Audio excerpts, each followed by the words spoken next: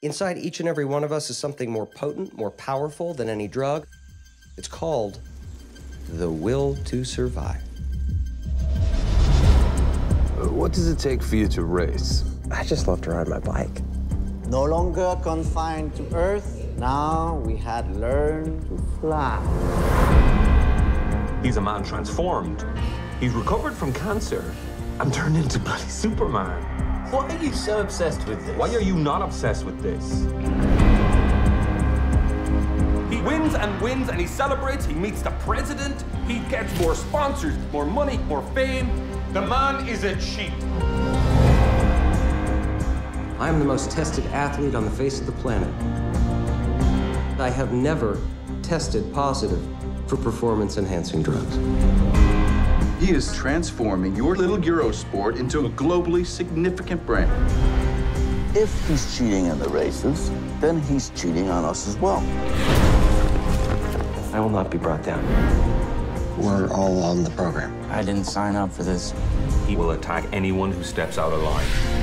I have the money and the power to destroy you.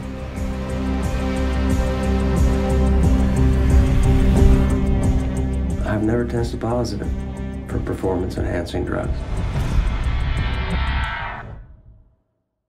Wow! Where did this movie come from? This is turning into a very weird awards season because we have films like this and Pawn Sacrifice coming totally out of left field uh, to, I think, be hopefully, they look like they deserve to be, depends how strong their uh, awards campaigns are, but they look like they deserve to be uh, you know, like front runners, like very strong contenders for the awards race. And we might have a situation where there are just too many good films being made. And I think that this is going to hopefully call attention to the over politicization of the awards season because I worry if films like Pawn Sacrifice and the program here can effectively compete in something, uh, an arena that's so politicized and where people have so much at stake, literally in terms of money and careers, uh, that a little film like this, you know, can't quite get through the crowd. And it's interesting because that's kind of what the program is about, right? Cheating in order to remain effective uh, and competitive in a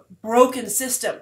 And also with the FIFA scandal also looming over this. I think this is a very interesting time for this movie indeed. It looks very well made, uh, which is so exciting. Same thing with Pawn Sacrifice, like really well crafted films.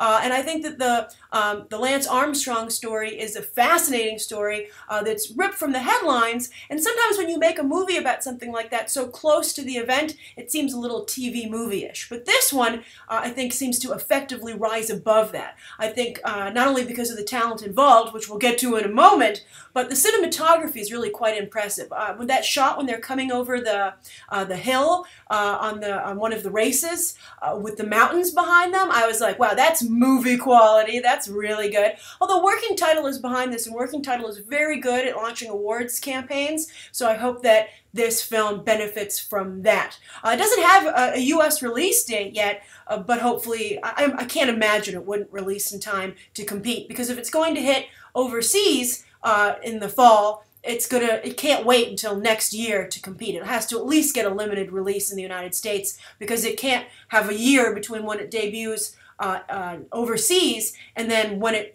becomes a domestic release here in the United States to compete for award season. Now let's talk about the talent involved. This is like a who's who of who should have a better career. I love every actor in this movie, and I'm so impressed.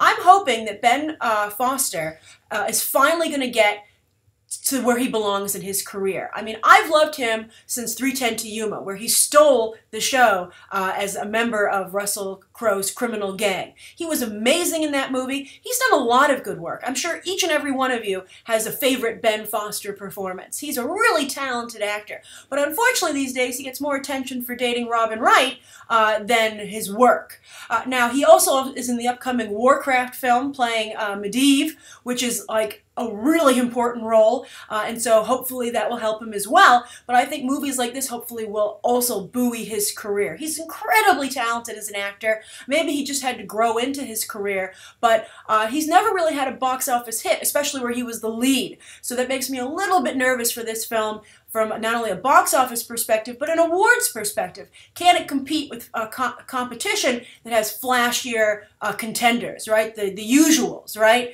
Uh, same with Tobey Maguire. These guys have to go up against like Michael Fassbender, uh, you know, Brad Pitt, DiCaprio, you know, the usual suspects uh, that are like almost guaranteed nominations. You know, it's much easier in the female categories where they have to like search desperately for ways to fill the category. There's always a plethora of strong male performances each year, and we have unfortunate casualties each year. And I worry about Ben Foster's ability to get to the front of the pack. Uh, but he's not the only impressive talent here. Chris O'Dowd very strong actor. He's, uh, of course, everybody knows him from his comedic work uh, because of Bridesmaids, etc. But I think he's a very strong dramatic actor. I got the chance to see him in uh, of Mice of Mice and Men with James Franco on Broadway. I also actually saw Ben Foster on Broadway uh, with Orphans with Alec Baldwin, and he was very good there as well. And Chris O'Dowd was excellent as Lenny in of Mice of Men. And so I really am excited to see him be able to show his dramatic uh, skills here.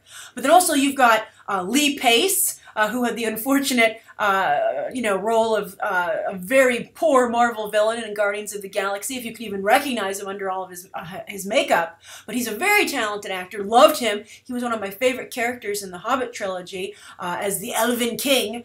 but also uh, Jesse Plemons is here in this film as the other uh, cyclist that uh, you see Lance Armstrong threatening. I love Jesse Plemons. I loved him uh, in Breaking Bad. Uh, he, of course, was uh, up for one of the lead roles in Star Wars, didn't get it.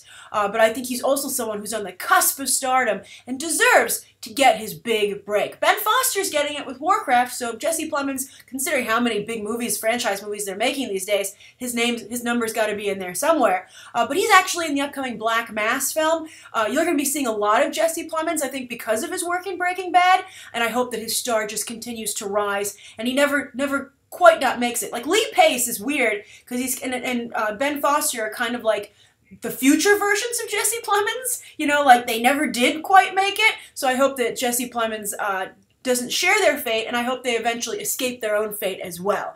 Uh, but I do worry because they didn't do so well in the long run. I worry about if they might hold this movie back uh, from in terms of getting an attention, both with the public, with the moviegoers, and with awards season. But what a trailer! What a trailer. And I'm curious, does this look as good to you? And do you think movies like Pawn Sacrifice and the program can compete during awards season, which is already ridiculously crowded? Uh, and if they can't, do you think that does symbol that the awards uh, system is broken? All right, thank you so much for tuning into my review, uh, and you can check out some other episodes right now.